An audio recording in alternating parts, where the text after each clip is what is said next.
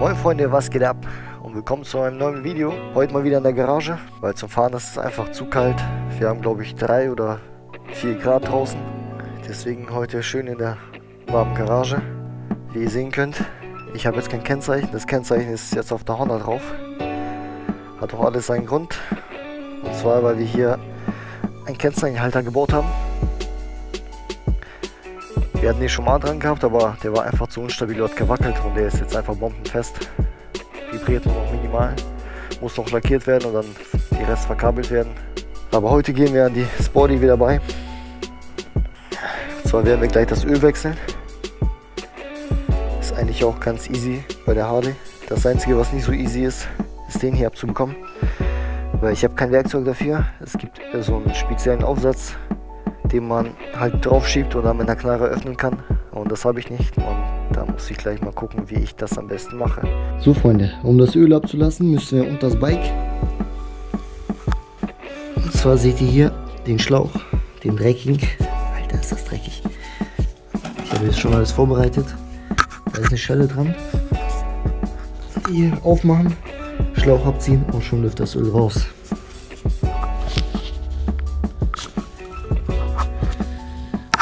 Läuft die Suppe.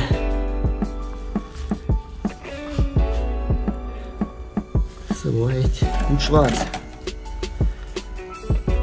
Ist aber mega dreckig hier. Muss ich im Sommer auf jeden Fall mal in die Waschanlage fahren und mal hier alles abspritzen. Übelst. So sieht man das ja gar nicht. Damit das Öl vielleicht ein bisschen schneller abläuft, würde ich sagen, öffnen wir noch den Behälter.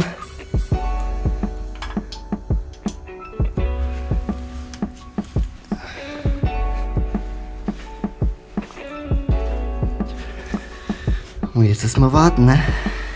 Hier sehen wir den Ölfilter und an den komme ich überhaupt nicht ran. Mit keiner Zange oder keine Ahnung. Nee, auf jeden Fall kommst du da überhaupt nicht ran. Ich habe schon gerade versucht, habe den komplett eingedrückt. Da werde ich mir gleich erstmal ein Werkzeug basteln. Natürlich gibt es da auch ein Spezialwerkzeug zum Kaufen, aber das wäre langweilig, ne? Ich habe jetzt hier noch so ein paar Blechteile. Die werde ich mir jetzt da zusammenbiegen und werde versuchen, das irgendwie zu fixieren, damit er an den Filter schön fest ist, damit ich ihn rausdrehen kann.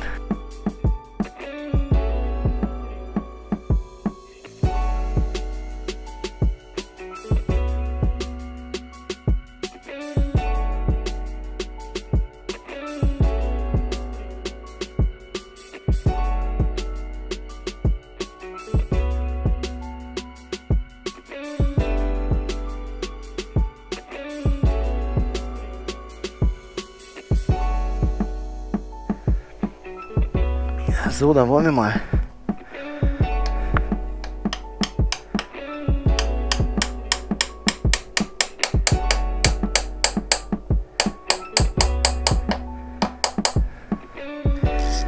So, schauen wir mal, ob die Praxis auch so funktioniert wie die Theorie.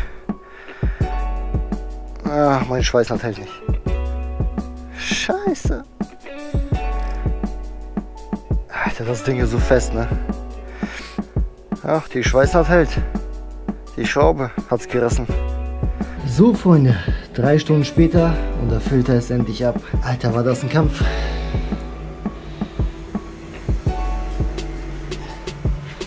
Hier die Überreste. Und hier ist der Rest. Das passiert, wenn man den Ölfilter mit 120 Bar festknallt. Alter, macht sowas auf keinen Fall. Einfach handfest und fertig. Der wollte einfach nicht, ne? Ich habe den schon heiß gemacht und einfach mit Gewalt jetzt raus. Aber zum Glück ist er jetzt draußen. So, Öl ist ja runter. Ölfilter ist auch ab. Jetzt kommen wir zu dem Primärantrieb. Der hat natürlich auch Öl und das muss auch gewechselt werden. Hier unten ist eine Schraube. 16er Nuss lösen und einfach laufen lassen. Ich habe jetzt das Bike wieder runtergenommen von der Hebebühne, weil man einfach so viel besser rankommt. Weil auf der Hebebühne stört dann der Ständer. Wenn man dann das Öl raus, rauslaufen lässt, Da läuft das direkt über den Ständer. Schön auf die Hebebühne. Da ist natürlich alles voller Öl. Ist natürlich alles nicht so schön.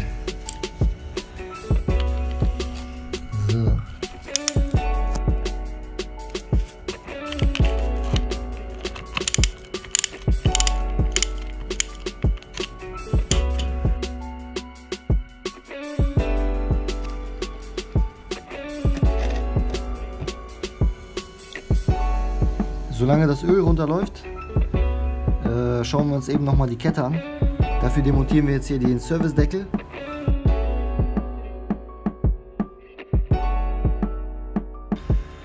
Ganz wichtig, die Dichtung nicht vergessen.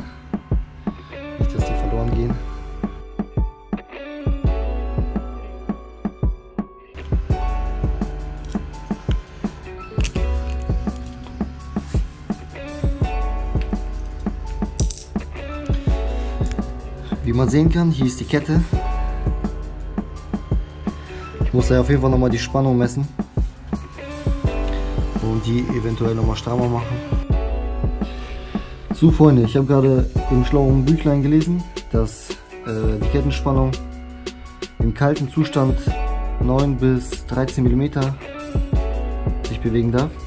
Ich habe gerade eben gemessen. Und zwar setze ich mir mal so das Mischstab an Und dann gucke ich halt, wie viel Millimeter der hochgeht. Und bei mir sind das 12 Millimeter. Da könnte man eigentlich noch etwas strammer machen.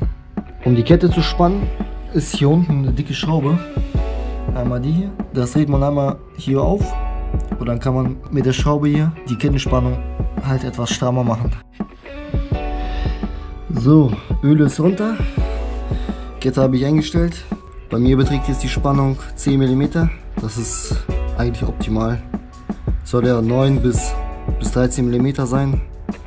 Und 10 ist schon mal, schon mal echt nicht schlecht. Kann man so auf jeden Fall so lassen. So, ich werde jetzt den Vergaser abnehmen. Den wollte ich ja äh, Ultraschall reinigen lassen. Zum Glück ist das bei Harley ziemlich einfach alles. Der hat ja zum Glück auch nur einen Vergaser, wo man auch ziemlich schnell und gut rankommt. Wenn ich mir jetzt vorstelle bei der Suzuki Intruder, da da hast du ja echt dann abgewürgt, ne? die Dinger da rauszuholen. Erstens zwei Vergaser und zweitens sitzen die komplett irgendwo zwischen den Rahmen mit ganz viel Kabeln. Da ist das bei HD alles ziemlich easy.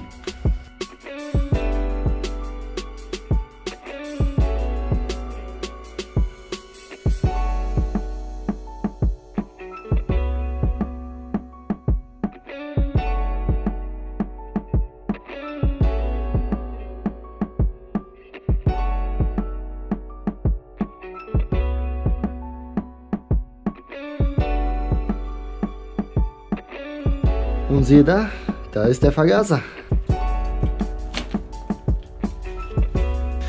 Ganz wichtig vom Ausbauen, immer zuerst den Joke auf der anderen Seite lösen.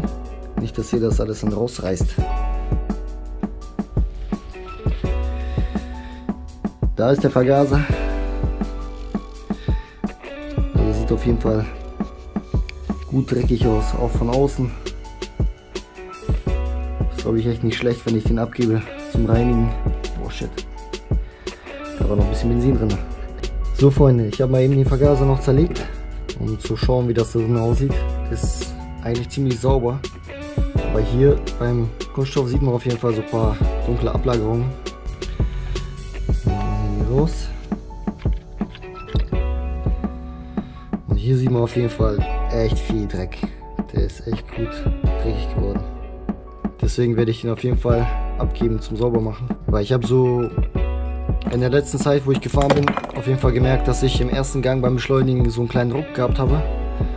Und das liegt wahrscheinlich jetzt am Vergaser, weil irgendwo was verdreckt ist. Ich hoffe ja natürlich, dass es danach weg ist. So Freunde, die Öle sind alle abgelassen, Zündkerzen habe ich rausgedreht. Vergaser ist draußen, den werde ich jetzt demnächst abgeben. Ölfilter und die ganzen Öle habe ich schon bestellt. Auf die muss ich jetzt noch die Tage warten. Und dann kann ich alles neu befüllen. Im Großen und Ganzen ist das eine, ja, eine Inspektion gewesen. Wenn ich jetzt überlege, wird mich das wahrscheinlich so alles um die 100 Euro kosten. Mit den ganzen Ölen, Filter, Zündkerzen, Vergaser reinigen. Und das ist natürlich schon mal ganz angenehm. Im Gegensatz, wenn ich das jetzt irgendwo in der Werkstatt abgebe, dann zahle ich da bestimmt 600, 700 Euro für. Deswegen, selbst machen lohnt sich immer, ne? Ja, Leute, ich hoffe, das Video hat euch gefallen. Über einen Daumen hoch und einen Kommentar würde ich mich freuen. Ich hoffe, das Video war euch heute nicht zu langweilig. Ansonsten sehen wir uns ja beim nächsten Video. Haut rein!